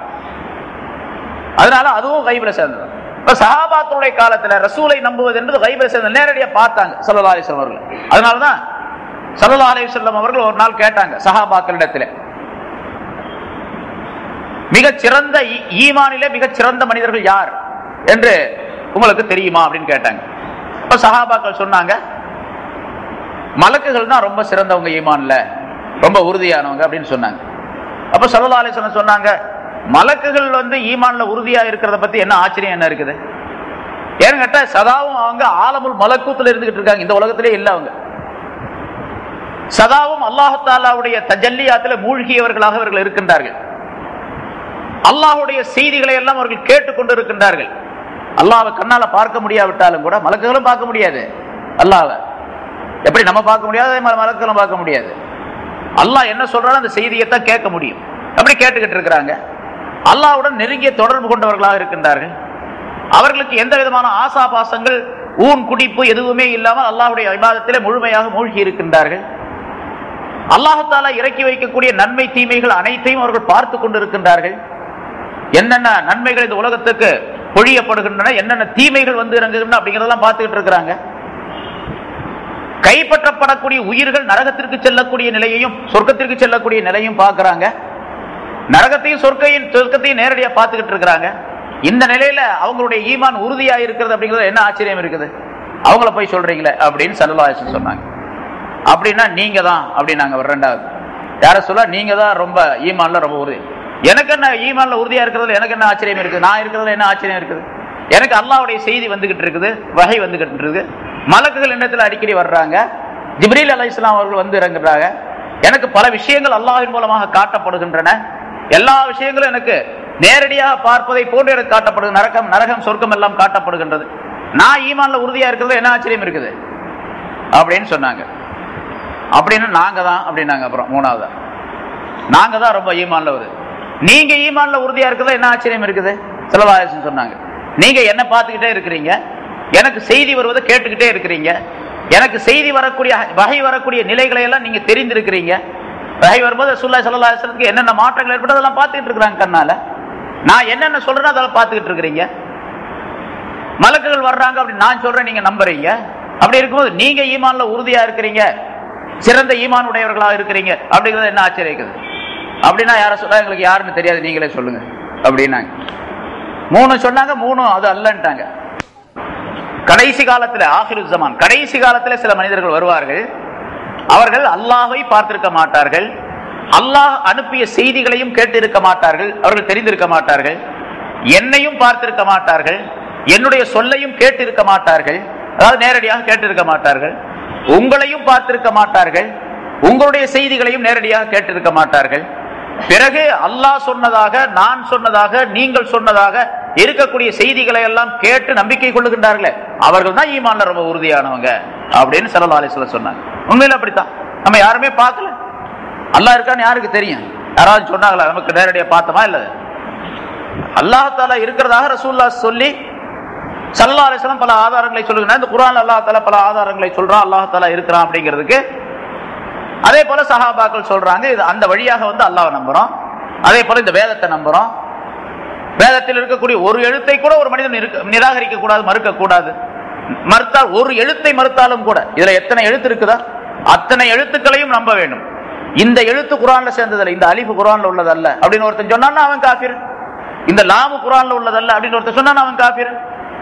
குரான்ல இருக்கக்கூடிய ஒரு எழுத்தை குரான்ல உள்ளது அல்ல அப்படின்னு சொன்ன பிறகு வெறுமனே அலிப்லாம் இருக்கு வெளியே இருக்குது. இருபத்தெட்டு எழுத்துல. அதை ஒருத்தமா இருக்கிற அதல்ல. குரான்ல பதிவு செய்யப்பட்ட குரான் என்று ஏற்றுக்கொள்ளப்பட்ட எழுத்துக்களிலே ஒன்று. இதெல்லாம் நம்ம பார்க்கல. அதே மாதிரி ரசூல்லாவை பார்க்கல சஹாபாக்களை பார்க்கல. பிறகு அவர்களுடைய சட்டங்களை எல்லாம் அவர்கள் சொற்களை எல்லாம் நம்பி நம்ம வந்து இப்ப ஈமான் கொண்டவர்களா இருக்கு அதனால ஈமான்ல உள்ளவங்க ஈமான்ல உயர்ந்தவர்கள் நாம் தான் இதே போல நமக்கு பின்னால் வரக்கூடியவர்கள் ஈமான் கொண்டார்கள் அவங்க இதை விட உயர்ந்தவங்க. அதுக்கு பின்னால் வர்றவங்க நம்மளை விட உயர்ந்தவங்க. அதுக்கு பின்னால் வர்றவங்க எப்படியே வரிசையாக தியாமத்து நாள் வரைக்கும் அதனால சல்லா அலிஸ்லாம் மற்றொரு தடவை சொன்னார்கள் என்னுடைய காலத்திலே இருக்கக்கூடிய நீங்கள் என்னுடைய சொல்லை கேட்ட அதாவது நான் என்னென்ன கட்டளைகளை சொல்லி இருக்கின்றேனோ அந்த கட்டளைகளிலே பத்து விஷயங்களை உங்களுக்கு சொல்லுகின்றேன் என்று வைத்துக் கொண்டால் பத்து கட்டளைகளை நான் சொல்லுகின்றேன் என்றால் பத்திலே ஒன்பதை செய்துவிட்டு ஒன்றை நீங்கள் விட்டுவிட்டால் நீங்கள் குற்றவாளியாக கருதப்படுவீர்கள். ஒன்பது விஷயத்தை செஞ்சிட்டீங்க. பத்துல ஒன்பதை செஞ்சுட்டு. ஒன்றை விட்டுவிட்டால் குற்றவாளியாக கருதப்படுவீர்கள். பின்னால் ஒரு கௌம் ஒரு கூட்டத்தினர் வருவார்கள். என்னுடைய உம்மத்திலே ஒரு ஒரு- ஒரு சாரார் வருவார்கள். பின்னால. அவர்கள் நான் சொன்ன அந்த பத்து விஷயங்களிலே ஒன்பதை விட்டு விட்டு ஒன்றை செய்தாலும் கூட அவர்கள் வெற்றி அடைந்து விடுவார்கள். இப்ப நம்ம ஒன்னையும் கூட செய்யலன்னு அர்த்தம் பத்து விஷயங்கள்ல ஒண்ணு கூட செய்யல. ஒன்னு செஞ்சாவே வெற்றி ஆயிடுவாங்கன்னு சொல்றாங்க ஸல்லல்லாஹு அலைஹி அந்த கோபம் தான் நம்ம இப்போ. பத்துல ஒன்ன செய்தா கூட போதும். அதனால ஒண்ணு செய்யறதுங்கிற அர்த்தம் இல்ல. அப்படி செஞ்சாலே குறைஞ்ச ஈமான் இருக்குதுன்னு அர்த்தம். முடிஞ்ச அளவுக்கு அதிகபட்சமாக செய்யணும். நான் அடிக்கடி சொல்றது உண்டு. முன்னால சொல்லியிருக்கேன்னு நினைக்கிறேன். அதாவது இந்த பாஸ் மார்க் அல்லா தாலத்தில் பாஸ் மார்க்குத இருக்குதே நம்ம ஸ்கூல்ல இப்ப காலேஜ்ல ஸ்கூல்ல எல்லாம் முப்பத்தி மூணு அப்படின்னு வச்சிருக்காங்க பாஸ் மார்க் மூணுல ஒண்ணு. நூறு மார்க்ல மூணுல ஒண்ணு எடுத்தா போதும் பாஸ் ஆயிடும். அல்லாஹ் தாலா பாஸ் மார்க் பிப்டி ஒன் ஐம்பத்தி ஒன்று அது மீசான்கிற தராசில் நிற்கும் போது தான் தெரியும் அந்த 51ங்கிறது சல்லல்லாஹு அலைஹி சொல்றாங்க அல்லாஹ் தஆலா சொல்லி காட்டுகின்றான் மீசான் என்ற தராசில அமல்கள் நிறுக்கப்படும் அப்படின்னு சொல்லிட்டு. எவருடைய எடை? ஒமன் சகுலத்து மவாசீனுஹு எவருடைய மவாசீன் எடையாகிறது கனமாகி விட்டதோ ஃபஹுவ அவர் இனிமையான வாழ்க்கையிலே அல்லாஹ் பொருந்திக் கொள்ளக்கூடிய வாழ்க்கையிலே அவர் இருப்பார். ஒமன் ஹஃபத் மவாசீனுஹு ஹாவியா. எவருடைய எடை குறைந்து விடுகின்றதோ லேசாகி விடுகின்றதோ அவர் தங்குமிடம் அவர் போகுமிடம் ஹாவியா என்ற நரகமாகும் என்று அல்லாஹால சொல்லுகின்றான். இப்பொழுது அப்படி மீசான் என்ற தராசில் இருக்கும் பொழுது ஒரே ஒரு பாயிண்ட் கூட போச்சு நன்மையில சொர்க்கத்துக்கு போயிடுவார். ஒரு பாயிண்ட் குறைஞ்சிச்சு நரகத்துக்கு போயிடுவார். அப்ப நம்ம நம்ம நம்மிடத்தில் இருக்கக்கூடிய நூறு விதமான அமல்கள் என்று வைத்துக் கொண்டால் அதாவது பாவம் ஐம்பது சதவிகிதம் செஞ்சிருக்கிறோம். நன்மைகளை ஐம்பது சதவீதம் செஞ்சிருக்கிறோம் சொன்னா நன்மைகள்ல ஒன்றை கூடுதலாக ஆக்கி கொள்ள வேண்டும். ஒன்னே ஒன்று கூடுதல் இருந்துச்சு நன்மை என்ற அந்த தட்டு கனமாயிடுச்சு சொர்க்கத்துக்கு போயிடுவார். தீமை தட்டு ஒன்னே ஒன்று கன கூடி போச்சு ஐம்பத்தி ஒன்று தீமையில இருக்குது அப்படின்னு சொன்னா தீமை தட்டாக இருக்குன்னு சொன்னா நரகத்துக்கு போயிடுவார். சரி சரிசமமாக இருக்குது சொர்க்கத்துக்கு போக மாட்டார் நரகத்துக்கு போக மாட்டார். ரெண்டுக்கு நடுவில் தொங்கிக்கிட்டு இருப்பார். அல்லாஹ் குர்ஆன்ல சொல்றா ஆராஃப் என்று ஒரு இடம் உண்டு. ஆராஃப் என்று ஒரு இடம் உண்டு. ஒரு உயர்ந்த மதில் செவர் மாதிரி ஒரு செவர் ஒரு சுவர் அது ஒரு இடம். அந்த இடத்துல கொண்டு போய் அல்லா தலா வச்சிருவான் அவங்கள. 50 50 உள்ளவங்கள. ஒரு சமயம் கொஞ்ச நாளைக்கு இங்க பார்ப்பாங்க கொஞ்ச நாளைக்கு அங்க பார்ப்பாங்க. இங்க பார்க்கும்போது பயமா இருக்கு அங்க பார்க்கும்போது சந்தோஷமா இருக்கும் இப்படி கவலைப்பட்டுட்டே இருப்பாங்க. அப்புறம் கடைசியில எல்லாம் அவங்களே சொர்க்கத்துல சேர்த்துருவான் என்றுதான் சொல்லப்படுகின்றது. சரி, இங்க என்ன சொன்னா? அதாவது மறைவான விஷயங்கள் அனைத்தையும் நம்பக்கூடியவர்கள் அவர்கள். முத்தகைன்கள் என்பவர்கள் அல்லதீன யுமினூன பில் ஹைப் மறைவானவற்றை நம்பிக்கை கொள்ளக்கூடியவர்கள். மறைவான விஷயம் எது எது இருக்கின்றதோ அல்லாஹ் தாலா மறைவானவன். ரசூல் இப்பொழுது நமக்கு மறைவானவர்கள். அதே போன்று மறுமை சம்பந்தப்பட்ட சொர்க்கம் நரகம் பிறகு மலக்குகள் இவையெல்லாம் நமக்கு மறைவான விஷயங்கள் தான். எல்லாமே மறைவான சரி. அதே போல கபருடைய வாழ்க்கை மௌத்து. மௌத்துடைய நேரத்தில் என்னென்ன நிகழும் என்று சொல்லலா அலிஸ்லாம் அவர்கள் சொல்லி இருக்கின்றார்களோ அதையெல்லாம் நம்ப வேண்டும். ஒரு மனிதன் இறக்கக்கூடிய நேரத்தில் அவனுக்கு எப்படி ரூஹு வாங்கப்படும் நல்லவனாக இருந்தால் எப்படி எடுக்கப்படும் கெட்டவனாக இருந்தால் அவனுக்கு எப்படி ரூஹு வாங்கப்படும்? ரூஹு எடுக்கப்பட்ட பின்னால் அந்த ரூஹு எங்கே செல்லுகின்றது? அல்லாஹால மலக்கிடத்தில் என்ன சொல்லுகின்றான்? இந்த ஜனாசா ரூஹு இல்லாத இந்த சடலமாகிறது எப்படி இருக்கின்றது? இது என்ன நிலை உடையதாக இருக்கின்றது? அதை தூக்கி கொண்டு செல்லும் பொழுது என்ன சொல்லுகின்றது? மனிதர்கள் என்ன சொல்லுகின்றார்கள்? மலக்குகள் என்ன சொல்லுகின்றார்கள்? அது தொட வைக்கப்படும் போது எந்த நிலையில் இருக்கின்றது? கபரிலே கொண்டு போய் வைக்கப்பட்ட பின்னால் அதனுடைய நிலை என்ன? மலக்குகள் எப்படி கிராமன் காத்திபின்? அதாவது முன்கர்ணக்கீர் என்பவர்கள் எப்படி கேள்வி கணக்கு கேட்பார்கள்? நல்லவர்களாக இருந்தால் என்ன வெகுமதி தரப்படும்? தீயவர்களாக இருந்தால் என்ன தண்டனை தரப்படும்? அவர்களுக்கு அந்த கபர் எப்படி அமைந்திருக்கும்? என்ற விளக்கங்களை எல்லாம் சல்லா ஏராளமாக சொல்லி இருக்கின்றனர் இதெல்லாம் மறைவான விஷயம். இந்த விஷயங்கள் பூராத்தையும் நம்பிக்கை கொள்ளணும் கட்டாயமாக. இதெல்லாம் என் அறிவுக்கெல்லாம் ஒத்துக்கலங்க. அப்படின்னு ஒருத்தன் சொன்னான். தஸ்லீமா நஸ்ரீன் மாதிரி. உடனே அவனுக்கு தண்டனை தான். அவன் வந்து முத்தகைன்களை சேர முடியாது. அவனுக்கு இந்த குரான் நேர்வழி காட்டாது. இந்த குரானின் மூலமாக நேர்வழி பெற முடியாது. குரானை படிக்கலாம். அர்த்தம்லாம் தெரியும். ரொம்ப அற்புதமான கருத்துக்கள்லாம் சொல்லுவாங்க. ஆனா நேரான வழிக்கு போகக்கூடிய தன்மையை இது உருவாக்காது. அந்த கைபு கைபை கொண்டு நம்பிக்கை இல்லாததின் காரணத்தினால். முதல்ல கைபை கொண்டு மறைவான விஷயத்தை கொண்டு நம்பிக்கை முதலாவதாக ஏற்பட வேண்டும். அந்த நம்பிக்கைக்கு பின்னாலதான் தக்குவா இந்த மனிதனுக்கு வரும். என்பதை அல்லாஹால சுட்டி காட்டுகின்றார் அதே போன்று மஹர் மைதானத்தில் சரி இது ஒரு மனிதன் இறந்த பின்னால கபர் வரைக்கும் ஏற்படக்கூடிய சரி கபருக்கு பின்னால என்ன நிகழ்ச்சி ஏற்படும்? அப்படிங்கிறத பத்தி எல்லாம் சொல்லலாம் அலிஸ்லாம் நிறைய சொல்லி இருக்கின்றார்கள். இன்ஷால்லா பின்னா பின்னால வரக்கூடிய ஆய- அந்த ஆயத்துகள் இந்த விளக்கங்கள்லாம் சொல்லப்படும். என்னென்ன விஷயங்களை சொல்லலாம் சொல்லி இருக்கிறாங்க இந்த உலகம் அழியக்கூடிய நேரம் அது சூர் ஊத படக்கூடிய நிலை. சூர் ஊதப்பட்ட பின்னால் மனிதர்கள் அழிய வேண்டிய நிலை.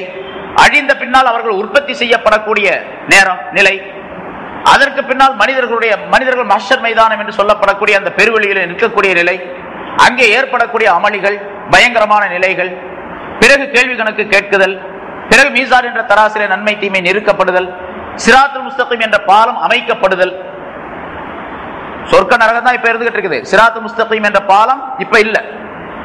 அந்த பாலம் அங்கே போடப்படும். அதற்கு பிறகுதான் கேள்வி கணக்கு கேட்ட பின்னால மீசான் என்ற தராசிரியர் நன்மை தீமை நிறுக்கப்பட்ட பின்னால சிராத்து முஸ்தகீம் என்ற பாலம் நரகத்தினுடைய அந்த விழி அந்த முதுகின் மீது போடப்படும். நரகம் என்பது ஒரு பெரிய பள்ளம். அந்த பள்ளத்திற்கு அப்பால சொர்க்கம் இருக்கின்றது. அந்த பள்ளத்துக்கு இந்த பக்கம் மாஷர் மைதானம் இதெல்லாம் நின்றுகிட்டு இருக்கிறாங்க. ஒரு கற்பனையை வச்சுங்க. ஒரு பெரிய பள்ளம். அது எவ்வளவு நீளம் இருக்கும் அப்படின்னு கேட்டா அது மனிதனுடைய கண்களுக்கு எட்டாது அவ்வளவு தூரம். அது சுமாராக சொல்லப்படுகின்றது சில ஆலிம்களுடைய சில முபசீன்களுடைய கருத்தின்படிக்கு எழுபதினாயிரம் வருஷங்களுடைய தொலை தூரம் அப்படின்ட்டு. ஒரு மனிதன் எழுபதினாயிரம் வருஷம் நடந்து போனான் அல்லது குதிரையில போனா அல்லது ராக்கெட்ல போனா எப்படி வேணாலும் வச்சுக்கலாம். எழுபதினாயிரம் வருஷத்துடைய தொலை தூரத்திற்குள்ள நீளமான பாலம் பாலம் அது. அது போல ஒரு பாலத்தை நம்ம எல்லாம் போட முடியாது. எழுபதனாயிரம் வருஷம் நடந்து போனா எவ்வளவு தூரம் இருக்கும் ஒரு பாலம்? அவ்வளவு பெரிய பாலம். சரி அந்த பாலம் எப்பொழுது அமைக்கப்படும்? இந்த கேள்வி கணக்கு கேட்கப்பட்ட பின்னால் அமைக்கப்படும். முதுகின் மீது நரகத்தினுடைய அந்த பள்ளத்தின் மீது போடப்படும் அது மேல. அதை தான் அதில் மேல ஏறித்தான் எல்லாருமே சொர்க்கத்துக்கு போகணும். ரசூல்லாய் சல்லா அலிஸ்லாம் உள்பட எல்லா நபிமார்களும் எல்லா மனிதர்களும் அந்த பாலத்தில் ஏறித்தான் எங்க போகணும். சொர்க்கத்துக்கு போய் சேரணும். அல்லாஹ் தலா குரான்ல சொல்லுகின்றார் இல்லா வாரிதுஹா. அந்த நரகத்தை பற்றி அல்லாஹ் தாலா சொல்லிவிட்டு உங்களிலிருந்து எவரும் அந்த நரகத்திற்கு வராமல் போக முடியாது. அப்படின்னு. எல்லாருமே நரகத்தை கடந்து தான் போகணுமா? அதுக்கு அப்படி அல்லாஹ் தாலா சொல்லுகின்றார் கானா அலா ரப்பிக ஹத்மம் மக்லுய்யா உங்களுடைய ரப்பின் மீது அது கடமையாக்கப்பட்டதாக ஆகிவிட்டது. அல்லாஹ் அப்படித்தான் செய்வான். அந்த நரகத்தை கடந்து தான் எல்லாருமே போகணும். அந்த பாலத்துல முதன் முதலாக ரசூல்லாய் சல்லா அலிஸ்லம் போவாங்க. மூமின்களாக இருந்தால் பக்கா மூமின்களாக சரியான மூமின்களாக இருந்தால் மின்னல் வேகத்தில் அந்த பாலத்தை கடந்து விடுவார்கள். சரி அந்த பாலம் எப்படி இருக்கும்? எவ்வளவு அகலம் இருக்கும்? இந்த பிரிட்ஜ் எவ்வளவு பெருசு? இந்த அண்ணா பிரிட்ஜ் இருக்கு? அது மாதிரி இருக்குமா? அப்படின்னு கேட்டா அதுக்கு சொல்றாங்க அது ஒரு வாளை விட மிக கூர்மையானதா இருக்கும். வாளை விட வாழ் இருக்குது சுவாடு அதை விட கூர்மையானதா இருக்கும். ஊசியை விட கூர்மையானதா இருக்கும். வாளை விட அதாவது ஊசி முனையை போன்று இருக்கும் அது. வாழை போன்றுள்ள அமைப்பில் இருக்கும். வேற அது மேல எப்படி நடந்து போறது? அதெல்லாம் நமக்கு தெரியாது. எனக்கும் தெரியாது. அது போய் நடக்கும் தான் தெரியும். சரி அதன் மீது நடக்கக்கூடிய ஆற்றல் இருக்கின்றதே சக்தி அது அந்த பாலத்தினுடைய அமைப்பை கொண்டோ அல்ல மனிதர்கள் லாக- லாவகமாக நடந்து செல்வதை கொண்டோ இந்த வித்த காட்டுறவன் இந்த சர்க்கஸ் எல்லாம் கயிறு மேல நடந்து போறாங்களா அது பழக்கத்தை கொண்டு. அப்படி பழக்கத்தை கொண்டு நடந்து போக முடியாது. பழகுவதின் காரணமாகவோ அல்லது வேறு விதமான ஆற்றலின் காரணமாகவோ அந்த பாலத்தை நடந்து போக முடியாது. மாறாக யாருக்கு தக்குவா இருக்கின்றதோ ஈமான் இருக்கின்றதோ அவங்க மட்டும்தான் நடந்து போக முடியும். இந்த உலகத்தில் அல்லாஹ் ரசூலுடைய கட்டளைகளை யார் முழுமையாக பின்பற்றி வாழ்ந்தார்களோ தங்களை அமைத்துக் கொண்டார்களோ அவங்க லேசா போயிடுவாங்க. அவங்க அவங்கள பல படித்தரங்கள் இருக்கின்றன. மின்னல் வேகத்தில் கடந்து செல்லக்கூடியவர்கள் அப்புறம் இரண்டாவதாக குதிரைகளுடைய வேகத்திலே செல்லக்கூடியவர்கள் அதற்கு அடுத்ததாக சாதாரணமாக நடக்கக்கூடிய வேகத்திலே செல்லக்கூடியவர்கள் அதைவிட மெ- மெதுவாக ஊர்ந்து செல்லக்கூடியவர்கள் இப்படி எல்லாம் பலதரப்பட்ட மனிதர்கள் அதில் போயிட்டே இருப்பாங்க. யாருடைய அமல் நல்லதாக இருக்கின்றதோ இப்போ அந்த மீசான் என்ற தராசில எடை போட்டப்பட்ட எடை போடப்பட்ட பின்னால இந்த பாலத்தின் மீது ஏறி போகணும். யார் யாருடைய எடையெல்லாம் குறைஞ்சிச்சோ அவங்கெல்லாம் இந்த பாலத்தின் மீது போகும் பொழுது அவர்கள் ஆட்டோமேட்டிக்காக தானாகவே கீழே விழுந்துருவாங்க நரகத்தில். அப்படி ஒரு கம்ப்யூட்டர் அல்லாஹ் தலா வச்சிருக்கான் அந்த பாலத்தில். அது பிடிச்சி இழுத்து கீழே விட்டுருவாங்கள. யார் யார் குறைவான எடை உள்ளவர்களாக நன்மை குறைவாக இருந்தார்களோ அவர்கள். நன்மை நிறைவாக உள்ளவர்கள் அனைவரும் அதை தாண்டி போயிடுவாங்க. என்று சல்லா அலிஸ்லாம் அவர்கள் சொல்லுகின்றார்கள். அல்லா தலா குரானிலும் பல இடங்களிலே சூசகமாகவும் பகிரங்கமாகவும் பல இடங்களில் சொல்லி காட்டுகின்றார் இப்போ அந்த மாதிரி உள்ள மறைவான விஷயங்கள் அனைத்தையும் அதாவது நம்முடைய மௌத்தில ஏற்படக்கூடிய மௌத்தில ஏற்படக்கூடிய மௌத்துக்கு பின்னால் ஏற்படக்கூடிய மறைவான விஷயங்கள் பிறகு இந்த உலகம் அழிக்கப்பட்ட பின்னால் ஏற்படக்கூடிய மறைவான விஷயங்கள் அதையெல்லாம் நம்பிக்கை கொள்ள வேண்டும். சரி இது பின்னால ஏற்படக்கூடியது. நமக்கு பின்னால. நமக்கு முன்னால ஏற்பட்ட மறைவான விஷயங்கள் உண்டல்லவா? அதையும் நம்பிக்கை கொள்ளணும். சல்லா அவர்கள் நிறைய விஷயங்களை சொல்லி தருகின்றார்கள். இந்த வானம் பூமி எப்படி படைக்கப்பட்டது? அல்லாஹ் எப்படி இருந்தான்? இப்பொழுது எந்த அமைப்பில் அல்லாஹால இந்த பூமியை உலகத்தை உலகத்தை படைத்திருக்கின்றான் பிரபஞ்சத்தை படைத்திருக்கின்றான்? பிறகு இது எப்படி சுழன்று கொண்டிருக்கின்றது அமைந்திருக்கின்றது எப்படி இயங்கிக் கொண்டிருக்கின்றது சூரியன் சந்திரன்கள் எல்லாம் எப்படி இருக்கின்றன என்பதையெல்லாம் சல்லா அலிஸ்லாம் பல ஹதீசுகளிலே பல விளக்கங்களை சொல்லி தருகின்றார்கள். அதையெல்லாம் நம்ப வேண்டும். இதெல்லாம் நான் ஒத்துக்க முடியாது அப்படின்னு சொல்லக்கூடாது. மறைவான விஷயங்கள் என்று எது எது இருக்கின்றனவோ சில விஷயங்கள் அனுமானமாகவும் இருக்கலாம். அறிவுகள் வளர வளர அந்த விஷயங்கள் இன்னும் கொஞ்சம் தெளிவாக்கப்படலாம். இருந்தாலும் அது மறைவான விஷயம்தான். இப்போ உதாரணமா சூரியனை பற்றி நம்ம எடுத்துக்கொள்வோம். சல்லா அலிஸ்லாம் அவர்கள் சூரியனை பற்றி ஒரு ஹதீஸ்ல இப்படி சொல்லுகின்றார்கள். ஒவ்வொரு நாளும் அது மேற்கே மறையக்கூடிய நேரத்திலே அல்லாஹ் தாலாவிடத்தில் அனுமதி கேட்கின்றது. நான் இப்படியே மறைஞ்சு இப்படியே போயிட்டே திரும்பி வரவா? அல்லது வந்த வழியே திரும்பி போகவா? அப்படின்னு சொல்லி கேட்குதான் சூரியன். இது நமக்கு ஏதாச்சும் அறிவுக்கு ஒத்துக்குதாப்பா வந்து கேட்குது. அல்லாஹாலாவுக்கு சஜிதா செய்கின்றது. அல்லாஹாலாவுக்கு சஜிதா செய்து விட்டு திரும்ப அது போவதற்கு அனுமதி கேட்கின்றது அல்லாஹால அனுமதி கொடுக்கின்றார் ஒரு நாள் வரும் ஒரு நேரம் வரும். சூரியன் அப்படி அஸ்தமான பிறகு மறைந்த பிறகு மேற்கு வானத்திலே மறைந்த பிறகு அது அல்லாஹுக்கு சஞ்சிதா செய்துவிட்டு வழக்கம் போல அனுமதி கேட்கும் அதுக்கு அனுமதி மறுக்கப்படும். இன்னைக்கு நீ வந்த வழியே திரும்பி போ என்று அல்லாஹால சொல்லுவான். அதுதான் மேற்கிலிருந்து சூரியன் உதயமாகக்கூடிய நேரம். அந்த நேரம் வந்துவிட்டால் தௌபாவுடைய வாசல் அடைக்கப்பட்டுவிடும். அதுக்கு பிறகு யாராவது தௌபா செஞ்சா ஏற்றுக்கொள்ளப்பட மாட்டாது. என்று சொல்லலா அலிஸ்லாம் அவர்கள் சொல்லுகின்றார்கள். இது கியாமத்து நாளில் வரக்கூடிய இது ஒரு மறைவான விஷயம் தான் ஆனா சூரியன் அப்படி போகுது சஜிதா செய்யுது அப்புறம் வந்து அனுமதி கேட்குது அப்படிங்கிறதுக்கெல்லாம் வேறு வேறு விதமான பல விளக்கங்கள் சொல்லப்பட்டிருக்கின்றன. அந்த விளக்கங்கள் பொருத்தமான அமைப்பிலே இருக்கக்கூடிய நேரத்தில் நம்ம அதை ஏற்றுக்கொள்ளலாம் அதை நம்பலாம். ஆனா இந்த விஷயம் உண்மை. இப்படி சஜிதா செய்கின்றது அதுக்கு அனுமதி கேட்கின்றது என்ற மறைவான விஷயத்தை சல்லா அலிஸ்லாம் சொல்லி தருகின்றார்கள் அதையும் நம்ப வேண்டும். சரி இதே மாதிரி ரைப் மறைவான விஷயங்கள் ஏராளமாக இருக்கின்றன. அந்த மறைவான விஷயங்களை கொண்டு நம்பிக்கை கொள்ளுகின்றார்களே நம்பிக்கை கொள்வார்களே அப்படிப்பட்டவர்கள் முத்தகைங்கள் என்பதாக சொல்லுகின்றார். இது மாதிரி இந்த மறைவான விஷயங்கள் இன்னும் சில இருக்கின்றன இன்ஷா அடுத்த வாரம் சொல்லுவோம். அதுக்கு அடுத்ததாக அல்லாஹ் தஆலா யுகீமூன சலாத்த வ யூதூன ஸகா யுகீமூன மிம்மா ரஸக்னாஹும் யுன்ஃபிகூன் என்று அல்லாஹ் தஆலா தொழுகையை அவர்கள் நிரந்தரமாக தொழுவார்கள். அவர்களுக்கு நாம் வழங்கிய பொருளிலிருந்து செலவு செய்வார்கள். இப்படிப்பட்ட இந்த மூன்று தன்மைகள் உடையவர்கள் முத்தகைங்கள் என்று அல்லாஹால வர்ணிக்கின்றார் அதாவது ஹுதல்லில் முத்தகைன் ராலிக்கல் கிதாப் இந்த வேதம் லா ரைப ஃபீஹி இதிலே எந்த விதமான சந்தேகமும் கிடையாது. ஹுதல்லில் முத்தகைன் இது முத்தகைன்களுக்கு வழிகாட்டக்கூடியதாக அல்லது நேர்வழியில் சேர்க்கக்கூடியதாக அமைந்திருக்கின்றது. அந்த முத்தகைன்கள் அல்லதீன எத்தகையவர்கள் என்றால் யுமினூன பில் மறைவானவற்றை நம்பிக்கை கொள்ளுகிறார் கொள்வார்கள். யுகைமூன சலா தொழுகையை நிலைநிறுத்துவார்கள். வமிம்மா அவர்களுக்கு நாம் கொடுத்தவற்றிலிருந்து செலவு செய்வார்களே அத்தகையவர்கள் என்பதாக அல்லாஹால சொல்லி முடிக்கின்றார் எனவே அந்த முத்தகீன்களாக இருப்பதற்கு நாம் அஹ் முயற்சிக்க வேண்டும். முத்தகீன்களாக இருக்கும் பொழுதுதான் இந்த குரானின் மூலமாக பலன் பெற முடியும் என்பதை அல்லாஹ் சொல்லி காட்டி அந்த முத்தகீன்களுக்குரிய இலக்கணத்தை மூன்றை அல்லாஹ் இங்கே குறிப்பிடுகின்றான். அதிலே முதலாவதாக கைப் மறைவான விஷயத்தை கொண்டு ஈமான் கொள்ளுது. எது எது சொல்லப்பட்டு இருக்கின்றதோ அதையெல்லாம் கட்டாயமாக நாம் நம்பிக்கை கொண்டிருக்க நம்பிக்கை கொண்டிருக்கின்றோம். இருந்தாலும் அதில் எந்த விதமான சந்தேகம் எந்த நேரத்திலும் வந்து விடக்கூடாது. ஷைத்தானுடைய தூண்டுதலின் காரணமாக அல்லது இந்த உலகத்தினுடைய சில அறிவியல் சம்பந்தப்பட்ட விஷயத்தின் காரணமாக சந்தேகங்கள் வந்து முளைத்தால் பிறகு வேறு விதமான நிலை ஏற்பட்டுவிடும். அதாவது குரானை கொண்டு நம்பிக்கை கொள்ளக்கூடிய நம்பிக்கை கொள்ளாமல் இருக்கக்கூடிய சூழ்நிலை ஏற்பட்டு அதன் காரணமாக தக்வா என்பது இழக்கப்படக்கூடிய நேரத்தில் அமல் செய்யக்கூடிய வாய்ப்பு ஏற்படாது மனப்பான்மை ஏற்படாது. அதனால முதலாவதாக அந்த மறைவான விஷயங்களை கொண்டு உறுதியாக நம்பக்கூடிய தன்மை உடையவர்களாக ஆக வேண்டும். அத்தகைய நல்ல பாக்கியத்தை எனக்கு உங்களுக்கும் அல்லாஹால தஆலா தந்தருள்வானாக.